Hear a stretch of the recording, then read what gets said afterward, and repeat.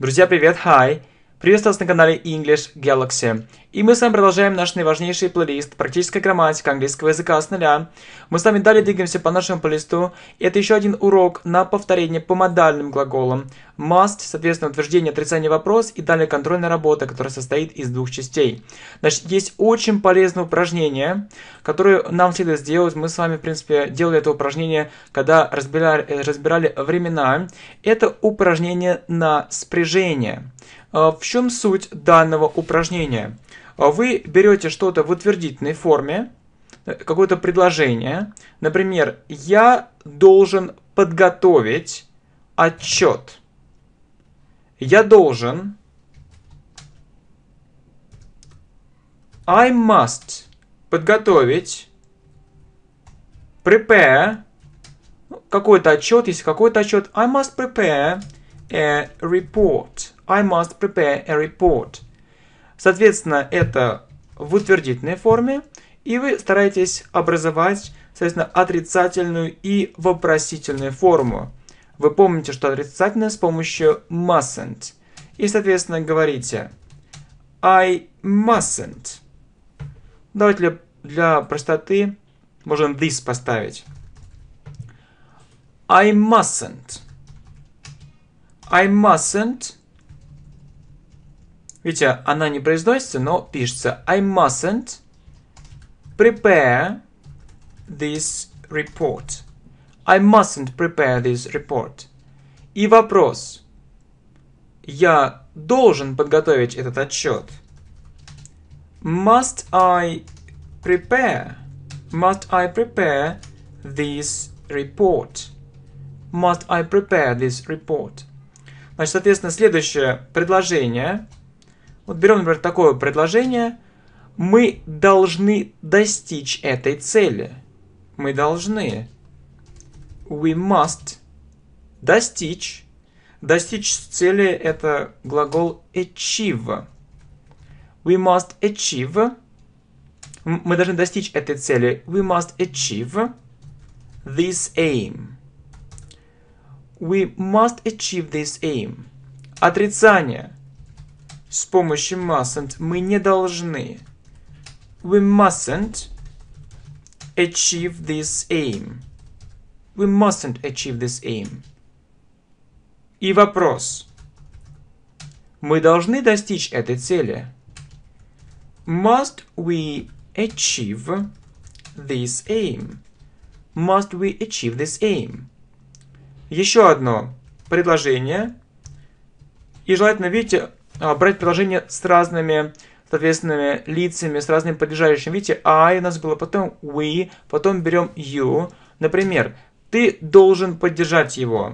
Ты должен, you must, поддержать его. Support him. You must support him.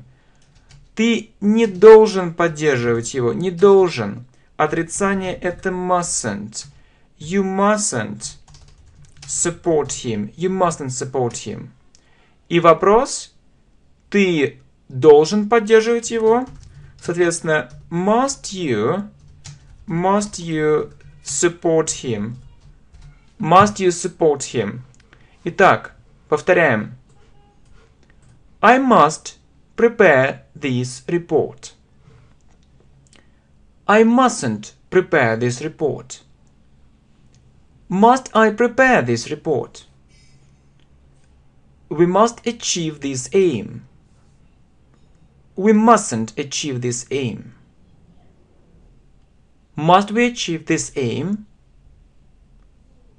You must support him. You mustn't support him. Must you support him? Далее. Берем, например, такое предложение. Они должны освежить свои знания. Они должны. They must освежить, refresh, свои знания, their knowledge. Knowledge в английском языке неисчисляемое, поэтому нет s. They must refresh their knowledge. Соответственно, строим отрицание. Они не должны. They mustn't. Например, сейчас, чтобы это было более правдоподобно. They mustn't refresh their knowledge now. They mustn't refresh their knowledge now. И вопрос, must they refresh their knowledge now? Must they refresh their knowledge now? Далее. Он должен записать этот урок. Он должен. He must записать, record этот урок, this lesson. He must record this lesson. Он не должен. He mustn't record this lesson. И вопрос, он должен записать этот урок? Он должен. Must he record этот урок? This lesson. Must he record this lesson? Далее. Она должна прослушать эту запись. Она должна. She must listen. Прослушать эту запись. She must listen to. Мы говорим listen to this Запись это будет recording. She must listen to this recording. Она не должна. She mustn't listen to this recording. She mustn't listen to this recording. И мы строим вопрос. Соответственно, задаем вопрос. Must she listen? Она должна прослушать эту запись. Must she listen to this recording. Must listen to this recording. Okay, so they must refresh their knowledge now. They mustn't refresh their knowledge now. Must they refresh their knowledge now? He must record this lesson. He mustn't record this lesson. Must he record this lesson? She must listen to this recording. She mustn't listen to this recording. Must she listen to this recording? И еще пример с it. Например, вы берете такое предложение. Это должно заинтересовать их. Это должно. It must заинтересовать. Значит, мы помним, что interesting – это интересный, а интересовать глагол мы с вами разбирали, это глагол interest. It must interest them. Это не должно. It mustn't interest them. It mustn't interest them. И вопрос. Это должно заинтересовать их. Must it interest them? Must it, must it interest them? So, it must interest them. It mustn't interest them. Must it interest them? Значит, друзья мои, видите, такая практика, это необходимо делать. Помните, мы с вами, когда двигались по нашему плейлисту, мы с вами отработали времена и спрягали каждое время именно утвердительная была форма, отрицательная и вопросительная. Были такие задания. И далее, когда мы прошли, прошли все времена, основные времена, и также некоторые сложные времена, то мы с вами делали со всеми временами. Это необходимо делать, чтобы довести все до автоматизма. Видите? То есть берете модальный глагол и с так делаете. Желательно, чтобы были разные лица, чтобы вы тренировались. Далее другой глагол модальный, например, can, там may и так далее. И также мы будем делать это с пассивным залогом. Это очень нужно, чтобы действительно набить руку и действительно довести все до автоматизма. Еще одно полезное упражнение – это самому вставлять предложения, но не какие-то разрозненные, а относящиеся именно к себе. Например, я хочу сказать следующее. Например, вот давайте какой-то рассказик составим о себе с помощью must. К примеру, я должен достичь следующего уровня как можно скорее. Я должен. I must. Достичь Достичь какого-то уровня мы обычно используем глагол reach.